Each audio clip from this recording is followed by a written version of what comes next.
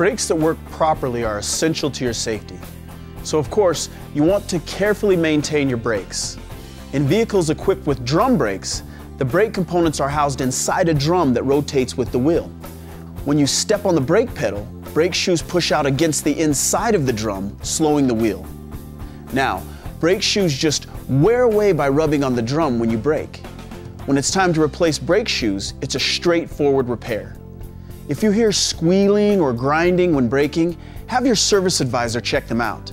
He'll have a service technician perform a thorough brake inspection to see what needs to be done. He'll check for signs of brake problems and go over other brake components to see that they're working properly. He can tell you if it's time to replace the shoes or if there's other brake issues that should be addressed. Now, some people ignore the warning signs and keep driving long after the shoes are completely worn out. When that happens, metal brake components will grind against the drum, damaging it enough that it has to be resurfaced or replaced. When you push on your brake pedal, the wheel cylinder is activated and it pushes the shoes against the drum to slow the vehicle.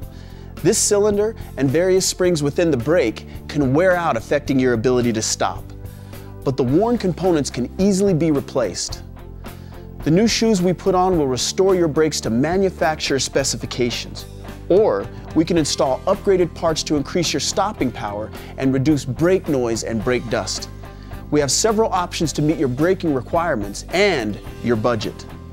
So, taking care of your brakes keeps them working safely and you could prevent premature brake repairs down the road.